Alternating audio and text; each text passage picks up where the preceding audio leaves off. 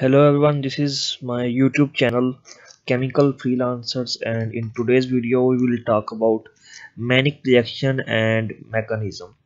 So what is the statement of this Mannich reaction? Mannich reaction is take uh, it is the formation of amino ketone and when will this amino ketone will form when an in inositol aldehyde or ketone we can say acetone here and a secondary amine. You can say dimethylamine. They uh, react in the presence of formaldehyde which is act as a aqueous acid uh, solution. And uh, in the presence of HCl where HCl act as a catalyst we will get uh, amino ketone so this is the basically uh, this is actually the principle of Mannich reaction we will see the general reaction in the equation form. We will i have already told you that we will have a acetone and uh, there we also have formaldehyde which will i have told you that this is this will be the solution in which the reaction takes place and we also have secondary amine and their ICL will be catalyst. And as a result of which we will get uh, amino ketone and in this reaction we will get beta amino carb carbonyl group or beta amino ketone. So if we see the mechanism of this reaction uh, in the first step there will be the formation of amine salt. Amine how amine salt is formed? Amine salt is formed from the uh, amine and formaldehyde.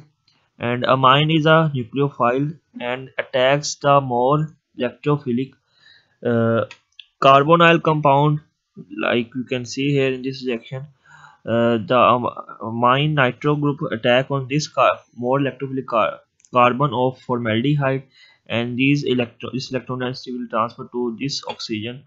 And in the next step uh, as for this addition step there is no need of uh, acid but acid will act as a catalyst uh, for the dehydration uh, of addition product which, which we will see in the next step. So this uh, amino group will attack on this carbon and this electron density will transport or toward this oxygen. And there we have O negative and we will have H positive. Uh, proton transferred so this H will uh, be transferred toward this oxygen and we have OH at this position and the next step is the acid catalyzed dehydration. I have already told you. So uh, this uh, acid uh, this OH uh, lone pair on OH will attack on this hydrogen and this electron density will transfer toward this chlorine. And there we have OH2 positive. In the next step the lone pair on nitrogen of amino group will attack on this carbon and this carbon will transfer its electron density toward this OH2 and as a result of which it we will have a amine salt. So from at this position at this point the first step is completed which is the formation of amine salt. This amine salt is an intermediate. It is qu uh, quite stable but also it is also reactive. So in the next step uh, there will we also can also say that if we, we have um, um, amine iodide salt is also called as Eschenmoser's salt. In the next step of the of the mechanism of Mannich reaction, there will be the formation of Mannich base. So the electrophilic salt uh, we have now it can add enol uh, in acid solution of ketone to give product in acid solution. Now there will be the addition of uh, enol of ketone so to give the reaction as then the product which we will get will be the Mannich base. So there we have uh, in this way we have the keto this is the ketone and this ketone will transfer its uh, electron density from here and we have H positive and CH3CO negative and H positive and O will this electron density will transfer toward this oxygen. So this we have the isomer uh, isomer of this.